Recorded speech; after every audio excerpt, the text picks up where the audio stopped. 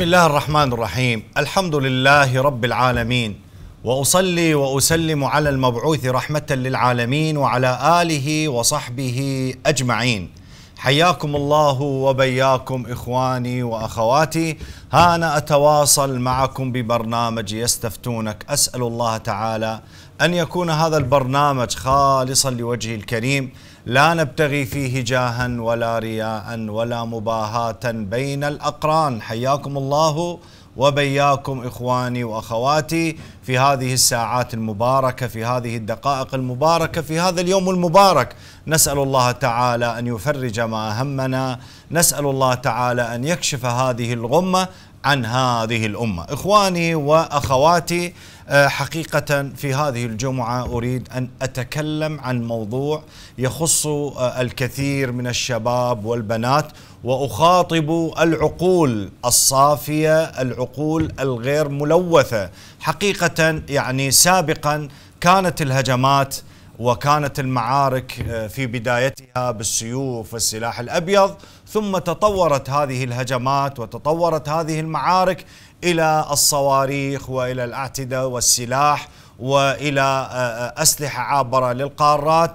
ولكن في زماننا اليوم وفي هذه السنوات حصرا أصبحت المعركة تختلف، نعم أسميها المعركة، هذه المعركة التي تلوث عقول الشباب وتلوث عقول البنات، هذه المعركة اليوم بشكل آخر، جاءت بشكل آخر وهي على طريقة الشبهات تلقى على عقول الشباب وتلقى على عقول البنات واليوم التواصل الاجتماعي هو الأداة الكبيرة على نشر ولنشر هذه الشبهات لعقول الشباب والبنات. اليوم نرى البنت آه، قليل ما تخرج من البيت ونرى الشاب لا يختلط مع رفقاء السوء ولكنه تأتيه شبهات شبهات تخرب ديانته شبهات تخرب عقيدته شبهات تخرب عفتها البنت شبهات تدعها تنزع الحجاب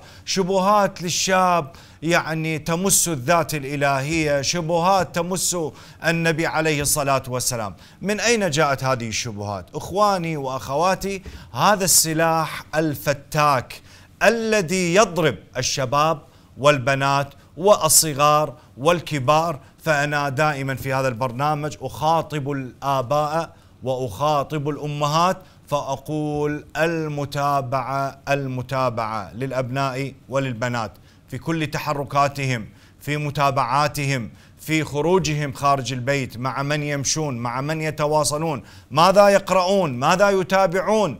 فاليوم مع الأسف يا أخواني وخواتي أنتم تعلمون وأبناء هذا الواقع المحتوى الهابط دمرت الأسر المحتوى الهابط دمر الأفراد، المحتوى الهابط كاد أن يخرج البنات والشباب من آه، آه، ثيابهم الحسنة ومن تربيتهم الحسنة. حقيقة من ضمن هذه الشبهات التي تلقى على عاتق الشباب والبنات اليوم آه، في أروقة التواصل الاجتماعي. شبهات فقهية حقيقة يراد منها التلاعب بالعقول والتلاعب بالإسلام والتلاعب بالتدين. على سبيل المثال يخرج بعض المحسوبين على الدين وبعض المحسوبين على على على يعني خلينا نقول الفضائيات بين قوسين.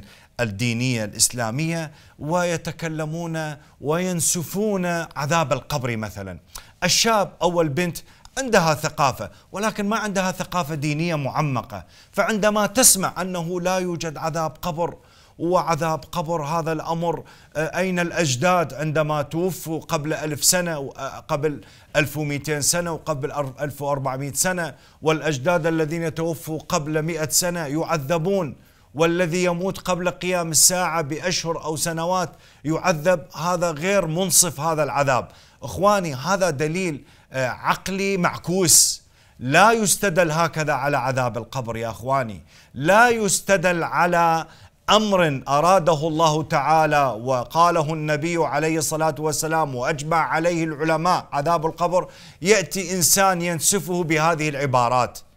يعني تشكيل احد البنات وتقول المدرسة وأرسلت لي صوتي لهذه المدرسة، المدرسة أستاذة جامعية تقول لهم وهي مؤمنة، هي مصلية، هي تصوم، تقول لا يوجد عذاب قبر، يقول لأنه لو وجد عذاب القبر يعني لا يوجد عدالة، هناك مات قبل ألف سنة، وهناك مات قبل مئة سنة، وهناك مات قبل أيام، كيف هذه العدالة؟ نقول يا أختي ونقول للشباب الذين أخذوا هذه الفكرة المنكوسة المعكوسة. نقول لهم يا أخواني عندما يموت الإنسان ويذهب إلى عالم هذا العالم بين عالم الحياة وعالم الآخرة هذا آه، آه، عالم البرزخ. عالم البرزخ يا أخواني هذا العالم نواميسه تختلف قواميسه تختلف الأزمنة فيه تختلف. يعني لا يحسب بالدقائق والساعات والأيام والأشهر والسنوات. هذا العالم لا يحسب فيه الدقائق والساعات. الأيام فيه تختلف.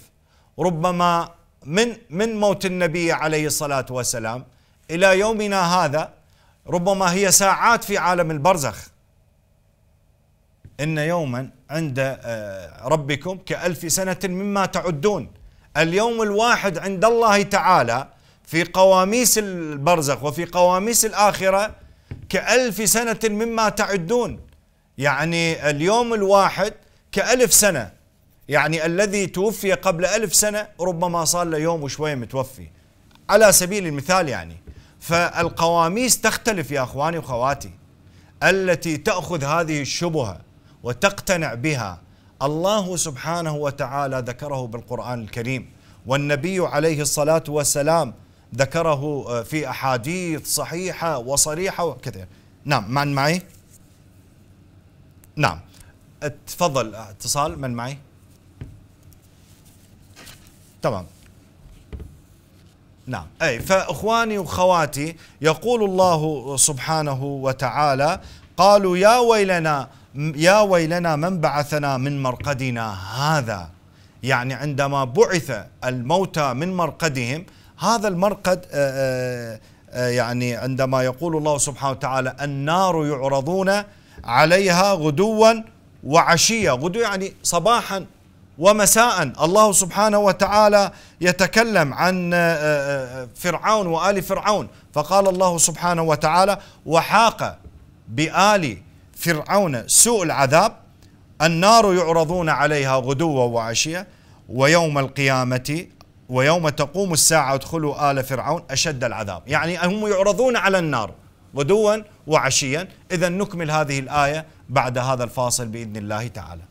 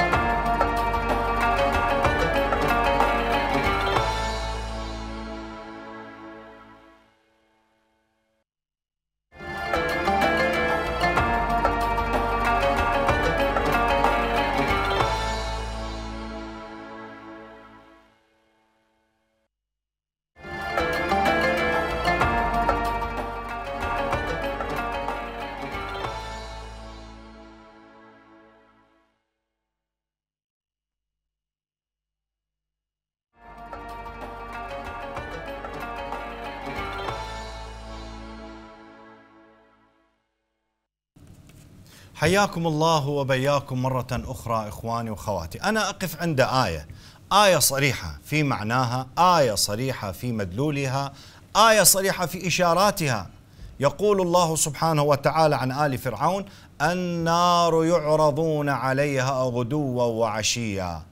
النار يعرضون عليها غدوا وعشيا. يعني صباحا ومساء. ويوم ويوم تقوم الساعة أدخلوا أدخلوا آل فرعون أشد العذاب. يعني هم كانوا يعذبون. ويوم تقوم الساعة كذلك سيعذبون. طيب عندما تقوم الساعة يعذبون. وهذا العذاب الذي قبل قيام الساعة الذي يقول الله سبحانه وتعالى عنه النار يعرضون عليها غدوا وعشيا ويوم تقوم الساعة أدخلوا آل فرعون أشد العذاب.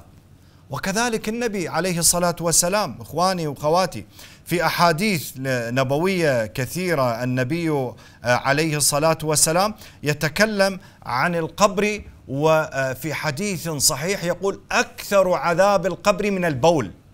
على سبيل يعني يعني عندما يتكلم النبي عليه الصلاة والسلام يتكلم عن أناس يعذبون في قبورهم عن النميمة مثلا أو يتكلمون على أعراض الناس ومن ضمنها من البول الذي لا يستتر من البول لا يتنزه من البول.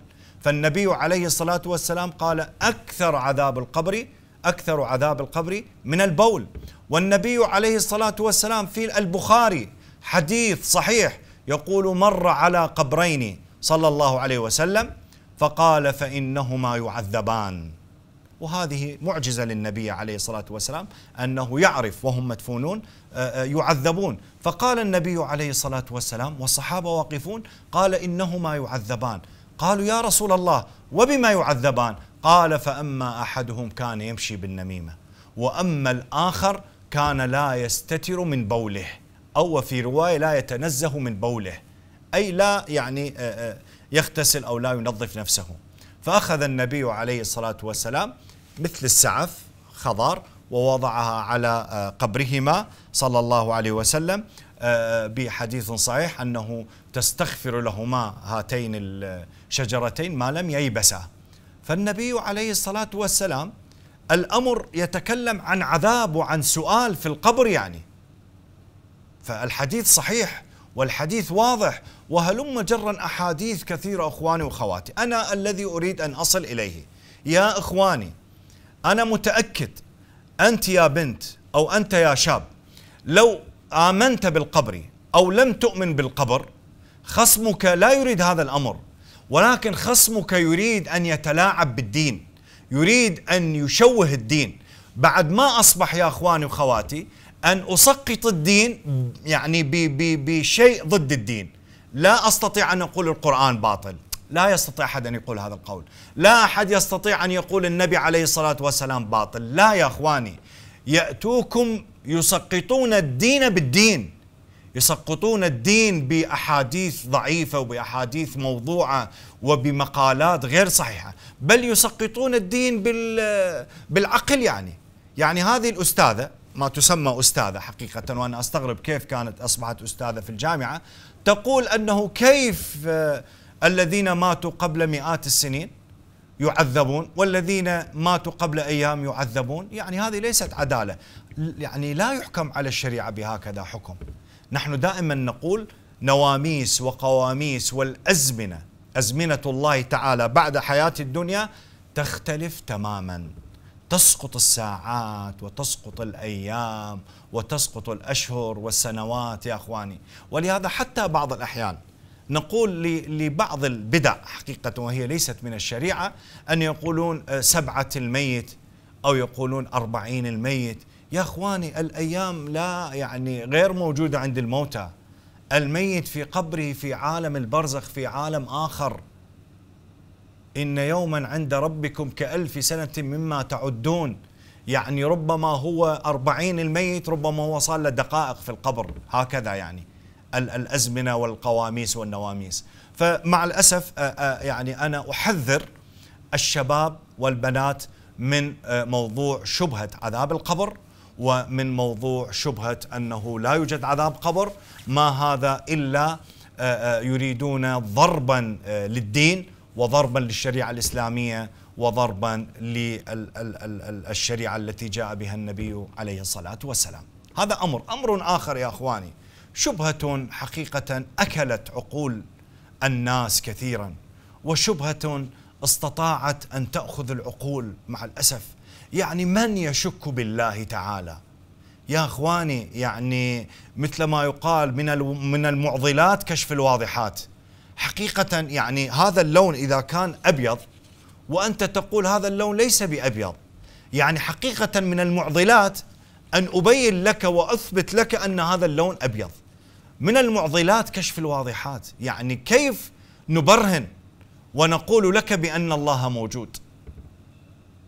يعني يقال يقال أحد العلماء يقال أن الإمام مالك كان جالسا فجاءه شخص قال له يا إمام أنا عندي 300 شبهة 300 مس عفوا عندي 300 رد على من يقول بعدم آه، وجود الله تعالى. فأخبره الإمام مالك قال معناته عندك 300 شك بوجود الله تعالى.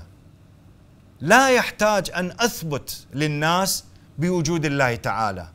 يعني هذا الكون وبناء الكون وبناء الإنسان وبناء الحيوانات والجبال الراسيات والأبحر والسماء والليل والنهار والنجوم والمجرات ودرب التبانة ويعني كل هذه الأفلاك وكل هذا الخلق يحتاج أن أدلل على الله تعالى. يا أخواني النبي عليه الصلاة والسلام هناك آية عندما نزلت بكى النبي صلى الله عليه وسلم عليها كثيرا.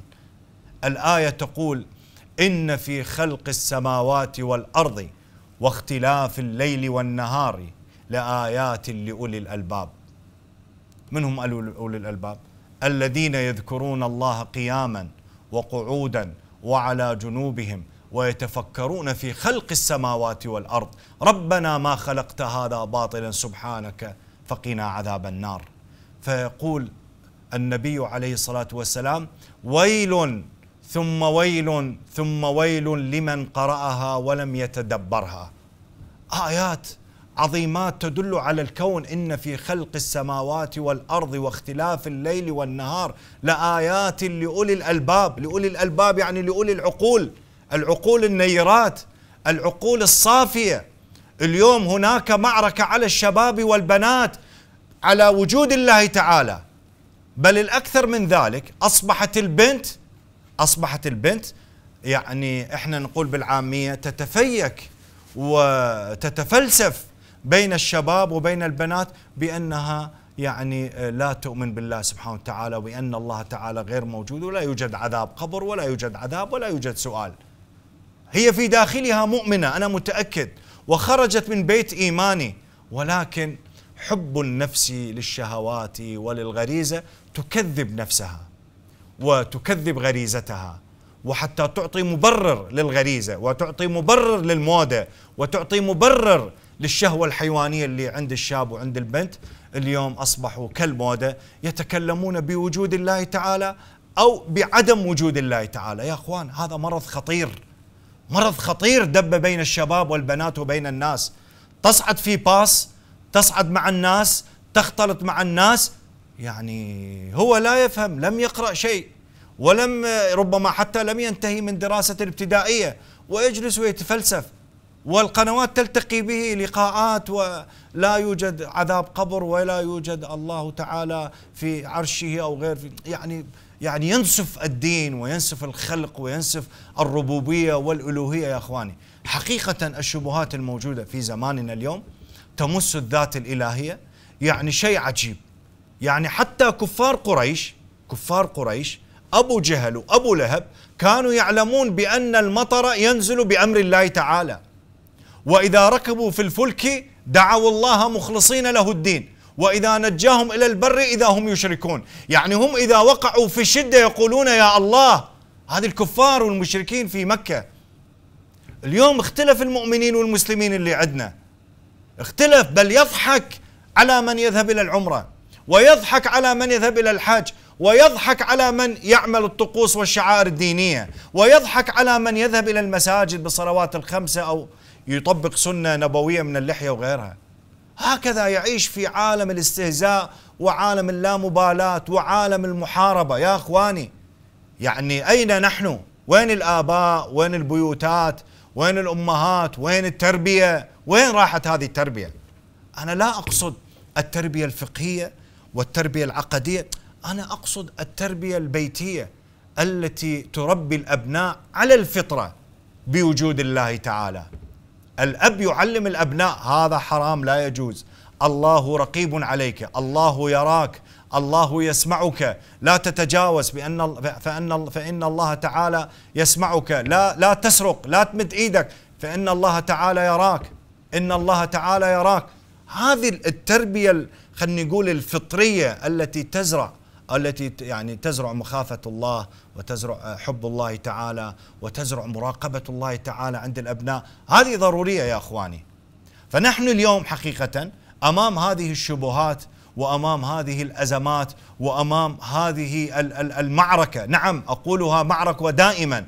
أطلق عليها كلمة معركة على عقول الشباب والبنات، فهذه المعركة تحتاج أن نعتد لها وتحتاج أن نهيئ أنفسنا لها، فالذي يدخل إلى معركة لا يدخل بيدين فارغتين، يدخل بسلاح، والسلاح هنا هو الفكر، الثقافة، العلم، المدارسة، الدراسة، ولهذا أنا أدعو الآباء وأدعو الأمهات أدعو البنات وأدعو الشباب أن يتدارسوا.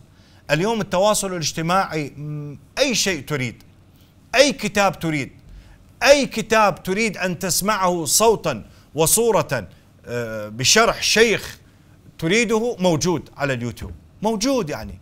أسمع إلى إلى دروس العقيدة أسمع إلى دروس الفقه أسمع إلى دروس الفكر الشبهات السيرة النبوية. هذا موضوع. شبهة أخرى يا أخواني. وهذه الشبهة إلى يومنا هذا ندفع ثمنها. إلى يومنا هذا ندفع ثمنها. هذه الشبهة دمرت أفراد ودمرت أسر ودمرت جماعات ودمرت مجتمعا مسلما كاملا. الشبهة هي ضرب التاريخ. التاريخ أنا دائما أنادي وأقول تاريخنا مزيف يا أخواني. أغلب ما في التاريخ مزيف. عندما ينقل عن الصحابة رضي الله عنهم تاريخا ينقلون التقاتل وينقلون الصراعات وينقلون أخذ الخلافة وينقلون السلب هذا غير صحيح يا أخواني عندما آه، ينقل عن فترة من فترات الخلافة الإسلامية في آه، فترة بني أمية أو في فترة بني العباس أو في فترة العثمانيين أو أي فترة حقبة آه، آه، تاريخية مزدهرة تنقل سوءا وتنقل بشكل أسود مع الأسف يعني نعم من معي؟ تفضلي سارة مرحبا. السلام عليكم شيخ؟ عليكم السلام ورحمة الله مرحبا سارة الله يوفقك. الله يحفظك الله يسلمك. شيخ برز إحنا عندي سؤالين. أي نعم. آه والدي الله يرحمه توفى. الله يرحمه نعم. آه فهسه قرايبنا يقولوا لها لامي نعم. المفروض قبل ما يموت ينطيك متاخر نعم. أه. واخو بيهم يقولوا لها الولد ينطوك إياه. زين. يعني المؤخر المهر. زين. إيه نعم. إيه إيه. زين. نعم. والسؤال الثاني نعم. أكو ولد من معارفنا رجال كبير بالعمر. نعم. يعني مو حيل بس يعني شلون ابنها؟ نعم. ويبوسها يعني يقولها انت أمي. وامي تستحي وتستحرم من هذا الشيء. أمك إيش قد؟ يا مواليد إيش قد عمرها؟ الحجيه 70 سنة. 70 سنة كبيرة ما شاء الله الله يحفظها لكم كبيرة. وهي تستحرم وتقول حرام يعني ما أخلي رجال غريب يبوسني. زين. إيه وهو يعتبرها مثل امي يقولها انت أمي. زين هي هذه من التقاليد المجتمعية. هي حقيقة يعني يعني خلينا نقول عليها مو صحيحة يعني بس هي مرات من رأسها؟ اي يعني يعني معزة ومحبة. لا بأس أن يقبل رأسها أن يقبل يدها أن يقبل كتفها. يعني لا بأس إذا كان بقد ابنها وأصغر من ابنها. لا بأس بذلك يعني هذا الأمر يعني. وترك أفضل. ترك أفضل يعني ترك أفضل. أي. ان شاء الله أي. هسه أجاوبك على السؤال الأول. الله يوفقك شيخ رحم الله والديك. يعني موضوع إخواني موضوع المؤخرة مؤخرة البنت يعني اللي آه، موضوع المهر يعني. آه، إحنا نقول المقدمة آه، يدفع لها في بداية الزواج نعم. اتصال؟ نعم. نعم. يعني أتي إلى موضوع الأخت السائلة تسأل عن موضوع المهر. للمهر تعرفون مقدمة فالمقدمة آه، يعطيها الرجل بيد الزوجة أو بيد أبيها فالمهم يصرف آه، مقدمة المهر. يبقى المؤخر المؤخر مؤخر الزواج هو يبقى دين في ذمة الزوج عند حلول أحد الأجلين. أحد الأجلين يعني الطلاق أو الموت. يعني إذا الرجل طلق زوجته عليه أن يعطي المؤخر. يعطيه دفعات يعطيه مرة واحدة يعطي المؤخر.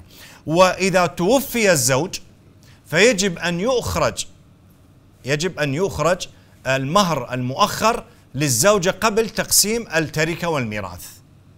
فهذه كثير من الأزواج والزوجات قد غفلوا عن هذا الموضوع فالمؤخر يبقى في ذمة الزوج عند حلول أحد الأجلين الطلاق أو الموت، يعني إذا مات الرجل يعني يعطى لزوجته المؤخر فقبل أن يقسم الميراث وبعد ذلك يقسم الميراث والزوجة تأخذ حصتها من الميراث. إن كان لها فرع وارث تأخذ الثمن وإن لم يكن لها فرع وارث يعني أبناء تأخذ الربع والبقية لإخوان وأخوات الزوج. فإذا المؤخر يعطى عند حلول الطلاق أو عند الوفاة وإذا أرادت أن تتنازل عن مؤخرها آه، المرأة فلا بأس بذلك والله أعلم. نعم.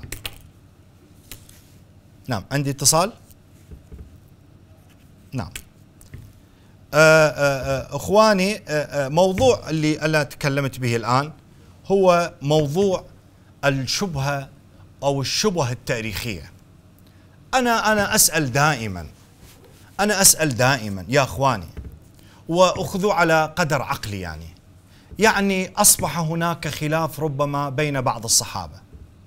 ونحن الآن في بداية محرم الحرام آه، وحقيقة نرى التعازي ونرى آه، الثارات ونرى التهديد لقتلة سيدنا الحسين. طيب أنا أنا أخاطب العقلاء أقول أنتم عندما تنادون بالثارات يا لثارات الحسين الثأر تأخذون من من؟ يعني المعركة مر عليها أكثر من 1300 سنة تأخذون من من الثار؟ أهل المعركة ومن قتل الحسين؟ طبعا من حقكم. اذهبوا وخذوا الثارة ممن هو الآن هو ميت وتحت التراب. طيب الآن ماذا تريدون؟ ترفعون راية الثارات. من من تأخذون الثار؟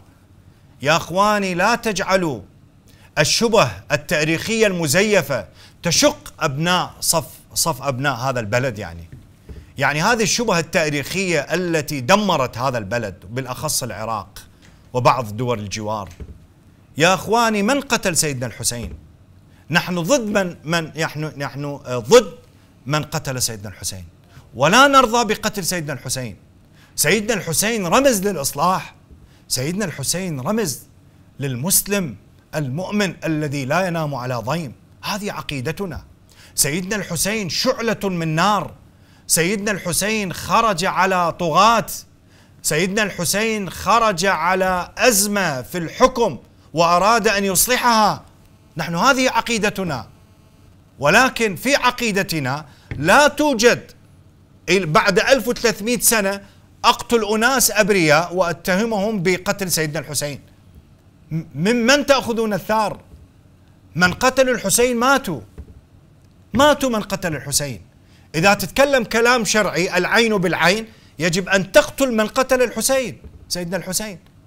أما أن تريد أن تقتل جيل جيل الذي جاء بعد 1300 سنة ممن قتلوا الحسين هذا لا يجوز يا أخواني. وهذا كلام غير شرعي أصلا. فهذا كله يص- يصب في آه، موضوع الانحراف التاريخي المزيف الذي دخل إلى عقول كثير من الناس. من معي؟ تفضل أخي. أبو طيبة تفضل. تفضل أبو طيبة مرحبا.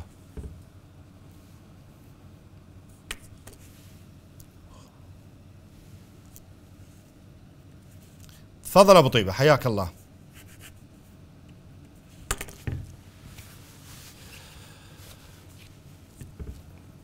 انقطع الاتصال مع أبي طيبة. حياك ما في مشكلة. نعم. فيا أخواني واخواتي الانحراف الثالث والشبهة الثالثة هو التاريخ. التاريخ يزيف. التاريخ يزيف يا أخواني. التاريخ اليوم يعطى للناس ففي المدارس وأغلب الجامعات وأغلب ما مكتوب من التاريخ تاريخ مزيف. شخصيات تلمع وشخصيات تطمس. وشخصيات لا تستحق التلميع تلمع وشخصيات لا تستحق الطمس تطمس. نعم. تفضل أبو طيبة رجعنا مرة ثانية. تفضل أبو طيبة. السلام عليكم. عليكم السلام ورحمة الله. شلونكم شيخنا شلون صح الحمد لله الله يحفظك. شيخنا سؤال ما يخص الوضع الحالي بالعراق. نعم. أجواء محرم وما نعم. الاشياء اللي نشوفها بالشوارع هل يجوز آه، الطعام هذا اللي يوزع؟ مرات تدري انت الجيران ولا الاصدقاء يجيبوا لك هذا الأكل اللي هو يطبخ آه، لغرض هذا الموضوع يعني هو السيد الحسين عليه السلام. نعم. هل هذا الأكل جائز؟ نعم تسمع من الجواب. شكرا جزيلا. جزاك الله خير.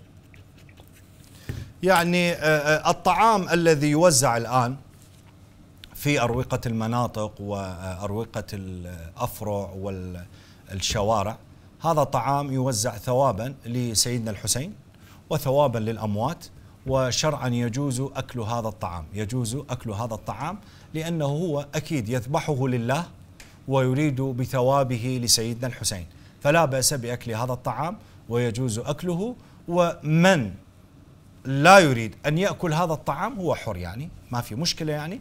ولكن لا آه، يغصب عليه بالأكل. ومن أكل هذا الطعام آه، تصرفه صحيح والأكل جائز وما فيه مشكلة أبدا أبدا لأنه من يذبح هو مسلم. طبعا. ومن يذبح يقول بسم الله الرحمن الرحيم ويقول هذا ثواب لسيدنا الحسين. فلا بأس بذلك أن تأكل من هذا الثواب وما فيه ضير شرعي والله سبحانه وتعالى أعلم يعني. نعم. نعم. فأنا أرجع إلى شبهة آه، آه، آه، تحريف التاريخ. فأنا أرجع مرة ثانية أخاطب العقلاء أقول عبارة يا لثارات الحسين ممن تأخذون ثأركم؟ من أي ناس تأخذون ثأركم؟ من أي قوم؟ من أي قوم تأخذون ثأركم؟ يعني أنت في العراق أهل العراق متحابين سنة وشيعة وعربا وكردا تزاوج هناك وهناك زيارات وأنساب وتصاهر. ممن تأخذ هذا الثأر؟ أنا أستغرب يعني. وينادون بأخذ الثأر وأخذ الثأر. أنا أنا أعلمكم شيء يا أخواني اللي اللي ينادون الثأرات. أنا أقول أنا أقول سيروا على خطى الحسين سيروا على منهج سيدنا الحسين الذي كان يغلب يغلب الدين على الدنيا ويغلب المصلحة العامة على مصلحته الخاصة. يستطيع أن يسكت سيدنا الحسين ويبقى في المدينة. ولكن خرج على الظلم خرج على الظلم وخرج على السرقات وخرج على آه، آه، سرقة المنصب. خرج سيد الحسين. فأنا أنا أنا أنادي من ينادي للثارات حقيقة أنادي من ينادي للثارات أن أن يخرج لإصلاح الوضع كسيدنا الحسين. أن يخرج لإصلاح الفساد الذي انتشر في الدوائر وانتشر في أروقة المؤسسات كسيدنا الحسين. أن يخرج على الظالم كسيدنا الحسين ويقول يا ظالم أنت ظالم. هذا منهج سيدنا الحسين. هذا التجسيد لسيدنا الحسين. هذا ما نناديه في كل محفل. نحن كأهل السنة والجماعة نحن نؤمن ونقول سيدنا الحسين سيد الإصلاح ورجل الإصلاح وخرج كي يضرب الظالم ويسلب ويأخذ حقوق المظلومين. ولكن مع الأسف وأنتم شفتوا من 2003 إلى يومنا هذا كم مدعي لسيدنا الحسين؟ هو سرق البلد. كم شخص كان يلطم على صدره والآن خرج بأموال العراق وخرج خارج الحدود ولا يعرف له اسم ولا يذكر له ذكر يعني. وكم شخص باسم السواد وباسم اللطم وباسم محرم سرق قوت أبناء المحافظة وخرج ولم يعرفون أين هو. وهم يعرفون ولكن يعني آه الأمر مخبى نعم. نعم. نعم. فيعني للأسف اليوم يا أخواني التاريخ الذي يقدم ويغذى به الشباب والبنات تاريخ فيه انحراف. على مستوى السنة والشيعة طبعا. على مستوى العرب والكرد. هناك آه، يعطى تاريخ للناس ويعطى تاريخ للمدارس ويعطى تاريخ فيه انحرافات يعني. يعني مثل ما موجود اليوم على التواصل الاجتماعي يا أخواني. تشوفون أمام حضراتكم. بعض الشخصيات تقدم محتوى هابط الناس يعني من يشوفوه بالشارع ياخذون صور وكأنما فاتح القسطنطينية يعني. ويتعاركون عليه. بنات ولد. محجبات وغير محجبات. كبيرات وصغيرات وكبار وصغار. والمقابل الذي يعطي المحتوى الهادف والمحتوى الذي يعني فيه فائدة للمجتمع لا أحد ينظر إليه ولا أحد يسلم عليه ولا أحد يصور معه. بل غير معروف وغير مرغوب به بل ربما يسقط ربما يؤذى. يا إخواني نفس الوضع اليوم التاريخ هكذا. أناس لا قيمة لهم في التاريخ ولا بطولات لهم يعني آه، بطولات لهم في التاريخ. هم أصبحوا قادة وفرسان وبالمقابل أناس ضحوا وقدموا الغالي والنفيس. مثل سيدنا الحسين قدم الغالي والنفيس هو وأبناؤه وذراريه وزوجته وأحفاده وكلهم. من أجل الإصلاح من أجل أن يقول للظالم لا من أجل أن يقول للفاسد لا أنت اغتصبت الخلافة أنت أخذت الخلافة أنت فعلت كذا في الخلافة. هذا هذا هذا هكذا يعني يثور الثوار. ولكن للأسف أكثر أدعياء حب الحسين حقيقة انحرفوا عن جادة الصواب في مفهوم الإصلاح وفي مفهوم محاربة الفساد وفي مفهوم محاربة يعني ما يوجد على آه، أرض الواقع. ولهذا أنا أخاطب إخوتنا الشيعة وأخاطب العوائل الشيعية عندما تقومون بمراسيم آه، محرم آه، حذاري حذاري من أي فتنة طائفية وحذاري حذاري من التجاوز على أي معتقد آخر. وحذاري حذاري التجاوز على أي طقوس وشعائر أخرى يعني. يعني لا يشترط لا يشترط أنت يعني تقيم الشعائر الحسينيه وتتجاوز على الآخرين لأنهم لا يقيمون الشعائر الحسينية. هذا البلد فيه مفاهيم وفيه طقوس وفيه شعائر وهذا يحتفل بالمولد النبوي هذا يحتفل بالهجرة النبوية. أنت تحتفل أو يعني تحزن في الأربعينية وفي عاشوراء فيعني نحن اليوم حقيقة يعني آه، نتأمل من عقلاء الشيعة ألا يخلقوا هذه الحزازية بين أبناء الشعب الواحد. أعطيكم مثال آخر يا أخواني على تحريف التاريخ أو يعني هناك أمور يعني تطمس وهناك أمور تظهر بقصد أو بغير قصد، يعني أنا أسأل شباب دائما أقول لهم ماذا حصل في عاشوراء؟ يعني عاشوراء ماذا حصل؟ طبعا الكل سيقول مقتل سيدنا الحسين، نعم مقتل سيدنا الحسين، بعد لا يعرف لا يعرف شيء من التاريخ، إخواني في عاشوراء تاسعاء وعاشوراء النبي عليه الصلاة والسلام رأى اليهود صائمون. رأى اليهود صائمين يعني عفوا رأى اليهود صائمين. فقال لما اليهود صاموا؟ فالصحابة قالوا يا رسول الله هذا يوم نجى الله فيه موسى من فرعون يوم عاشوراء. فالنبي عليه الصلاة والسلام قال لو بقيت لقابلة يعني للسنة القادمة لأصومن تاسعاء وعاشوراء. لأن هذا اليوم نجى الله فيه موسى من فرعون فنحن أحق بسيدنا موسى من غيرهم. أخو الأنبياء أخو النبي عليه الصلاة والسلام الأخ في الدين. فالنبي عليه الصلاة والسلام قال لو بقيت لقابلة لصمت آه، تاسعاء وعاشوراء فإذا عندما يأتي عاشوراء يسن صيام عاشوراء ويوم قبله أو يوم بعده. الشاهد من الكلام الكثير لا يعرف هذا المسألة. الكثير لا يعرف أنه عاشوراء يوم نجى الله فيه موسى من فرعون. ولا بأس أن أخلق مناسبة آه، مع هذه المناسبة. واحد محرم عندما تسأل عن واحد محرم مباشرة يقولون مقتل سيدنا الحسين أو دخولية محرم مقتل سيدنا الحسين. بينما هو محرم. هي النقطة المغيرة الفاصلة في التاريخ الإسلامي اللي هي السنة الهجرية.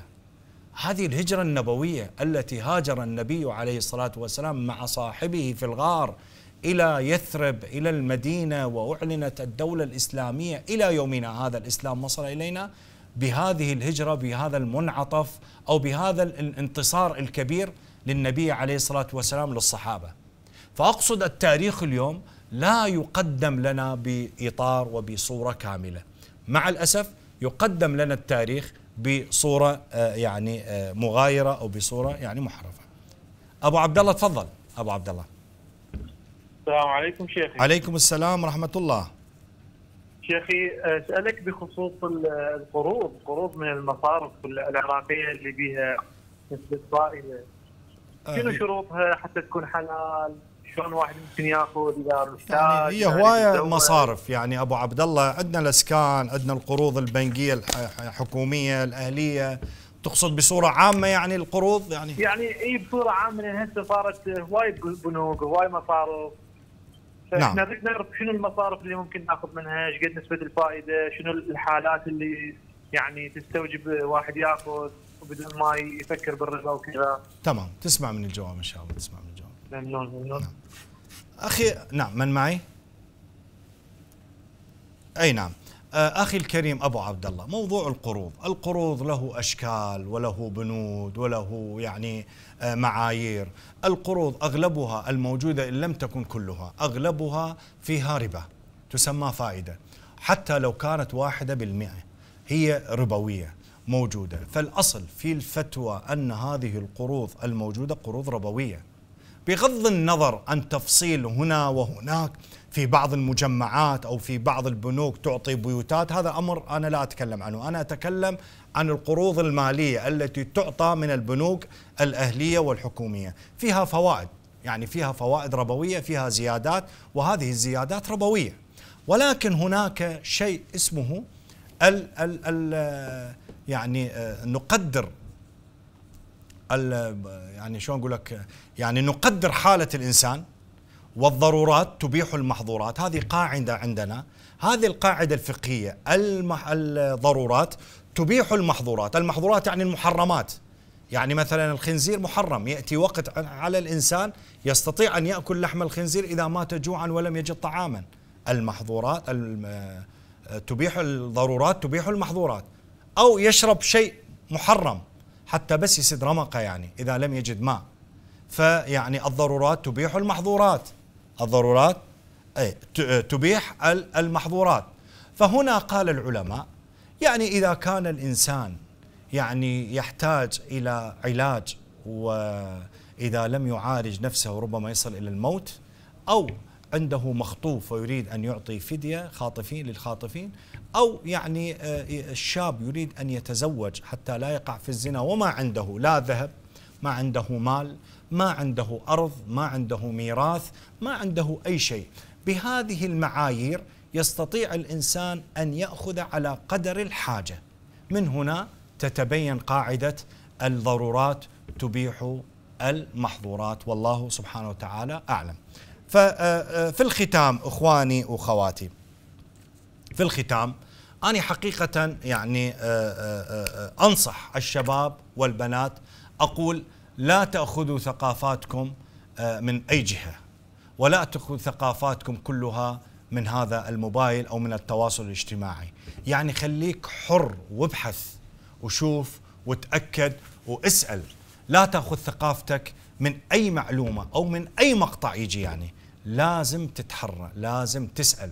وأفضل مرجع لنا كمسلمين هو القرآن والسنة النبوية وما أجمع عليه العلماء وهذا ليس بالصعب على الشاب والبنات أن يجد هذه المعلومات. فإذا يا أخواني نسأل الله تعالى أن يحفظ شبابنا نسأل الله تعالى أن يحفظ البنات من هذه الشبهات من هذه التلاطمات الفكرية العقدية التي تدخل على عقولهم. نسأل الله تعالى أن يتجاوز عنا. إخواني ما كان من صواب فهو ممن من الله ثم ممن علمنا وما كان من خطأ ومن زلل. فهو مني ومن الشيطان. أسأل الله تعالى أن نتجاوز عنه. وصل اللهم على سيدنا محمد وعلى آله وصحبه أجمعين. والسلام عليكم ورحمة الله وبركاته.